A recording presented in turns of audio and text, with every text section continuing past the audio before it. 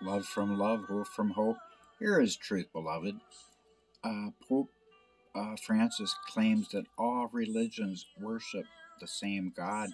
And you know, the bottom line is there has never been a false God. There is only one. And Jesus said that we are gods.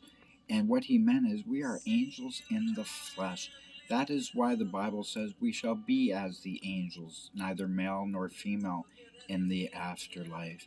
That is why the Bible says that the glory of the Lord's latter house shall be greater than that of the former, because we were made higher than the angels. And for that reason, the glory of the Lord's latter house shall be greater than that of the former, as the prophet Micah foretold.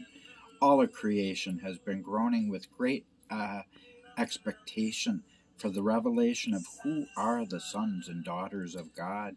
The reason I know I am Elijah, and I believed, I dared to believe the Bible, uh, where it is written in Isaiah 45 Thus saith the Lord God of things to come concerning the future of my sons and daughters and the work of my hands.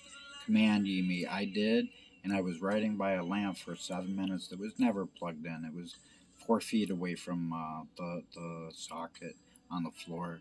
So praise the Lord. We can, uh, by enlightenment, as this man uh, has had the Pope of one billion people, the, actually a Pope of all people and uh, know that the one world religion, Chrislam, is not at this point even what he understands because he has no knowledge of this channel as of yet. But he has endorsed Chrislam because the truth is we all are worshiping the same Lord God.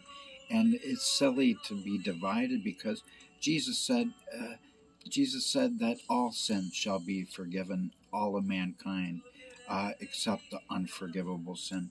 So leave the land of the walking dead.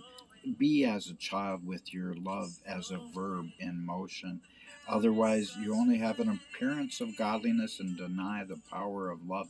It is the power of love that uh, Francis is coming out with this uh, preparation of God's peace that will transform the world by love in action.